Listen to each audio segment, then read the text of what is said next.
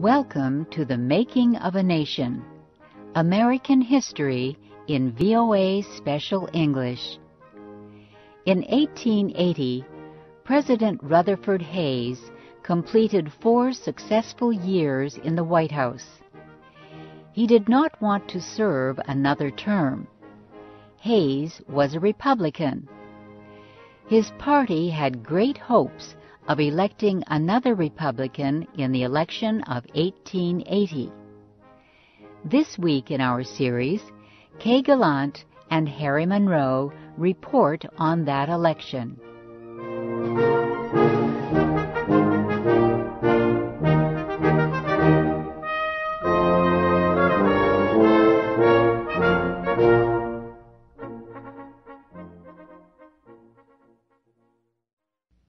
Many Republicans wanted to nominate former President Ulysses Grant.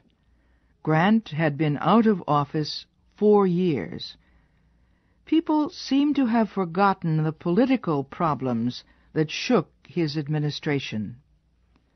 Other Republicans supported the powerful party leader, Senator James Blaine.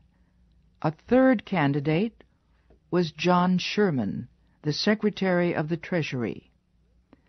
The Republicans had great difficulty choosing among Grant, Blaine, and Sherman. At their national convention, Republican delegates voted again and again. None of the three men received a majority. The delegates voted ten times, twenty times, thirty times. Finally, on the thirty-fourth ballot, seventeen of the delegates voted for a compromise candidate. He was James Garfield, a Republican leader in Congress. Soon, both Sherman and Blaine asked all of their delegates to vote for Garfield the compromise candidate won the nomination. James Garfield offered the vice presidential nomination to Chester Arthur of New York.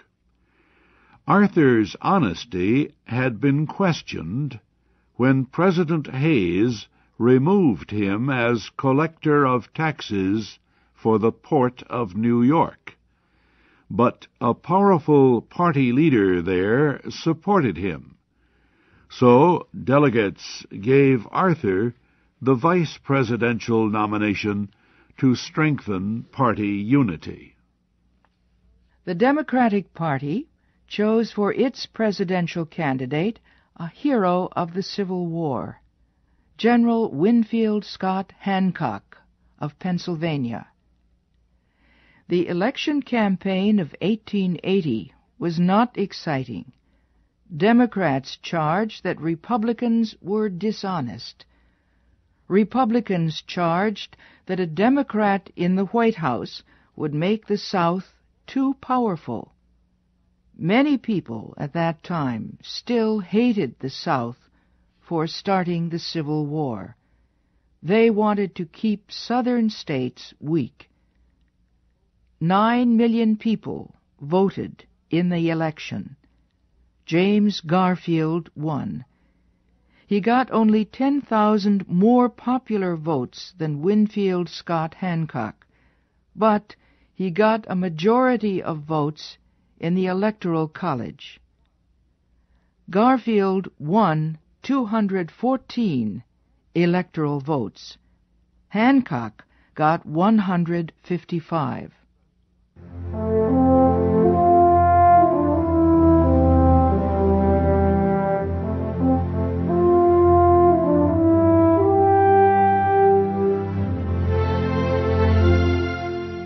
The new president was 49 years old. He had served in the House of Representatives for 17 years. He had been a teacher, a college president, and a general in the Union Army during the Civil War. James Garfield became President of the United States on March 4, 1881. His choices for a cabinet immediately reopened the conflicts that had appeared during the party convention. The Republican Party had two powerful leaders. One was Senator Roscoe Conkling. The other was Senator James Blaine. Garfield won Blaine's support by naming him Secretary of State. He lost Conkling's support by refusing to name one of Conkling's supporters Secretary of the Treasury. Garfield denied he had promised anything to Conkling. Then he made Conkling even angrier by appointing one of Conkling's political enemies collector of taxes for the port of New York. That was the most important federal job in Conkling's home state. Conkling refused to accept the appointment. He began a struggle in the Senate to block it. Conkling charged that President Garfield had failed to observe the policy of senatorial courtesy.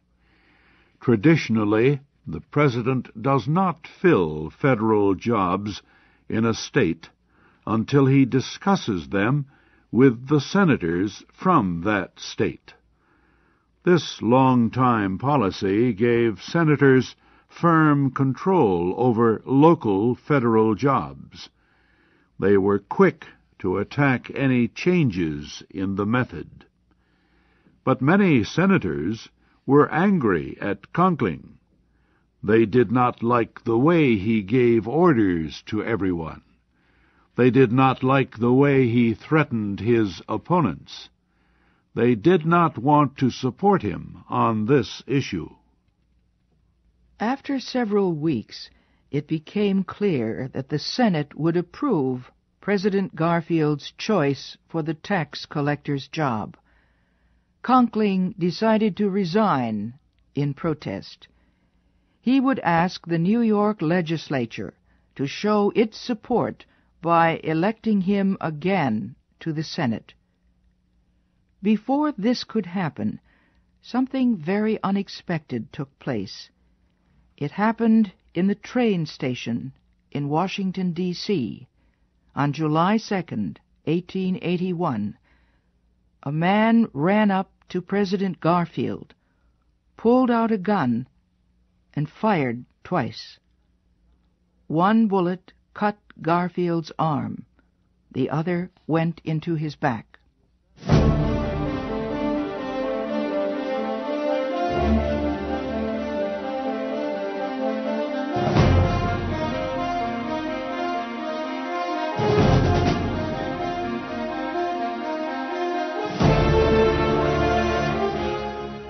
The assassin was Charles Guiteau.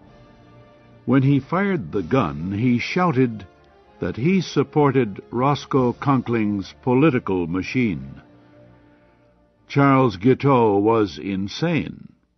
He believed God had ordered him to kill the president.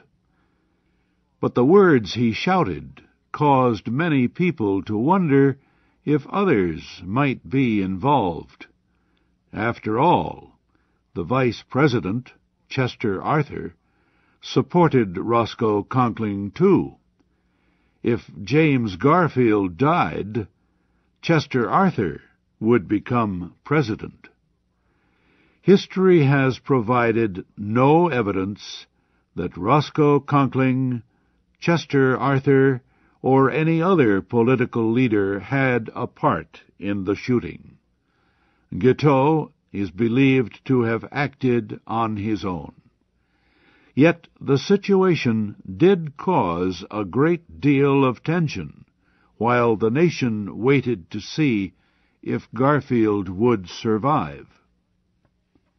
The President was carried to the White House. A doctor tried to remove the bullet from his back. He could not find it. Days passed the president's condition changed from day to day. Doctors pushed their instruments into the wound as they continued to look for the bullet. The wound became infected. Garfield grew worse. Then he grew better. He asked to be taken to the seashore. Two months later, the doctors warned the cabinet and Vice President Arthur that Garfield was dying. The end finally came on September 19, 1881. The President's body was taken back to Washington. Memorial services were held there, and then the body was taken to his home state of Ohio for burial.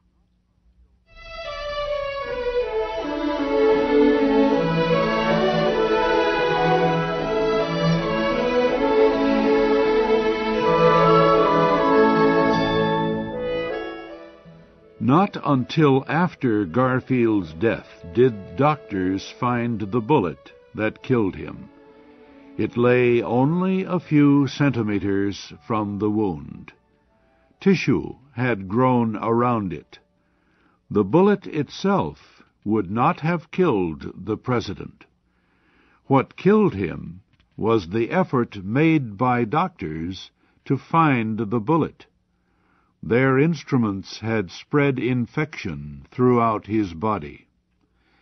James Garfield had been president for six months.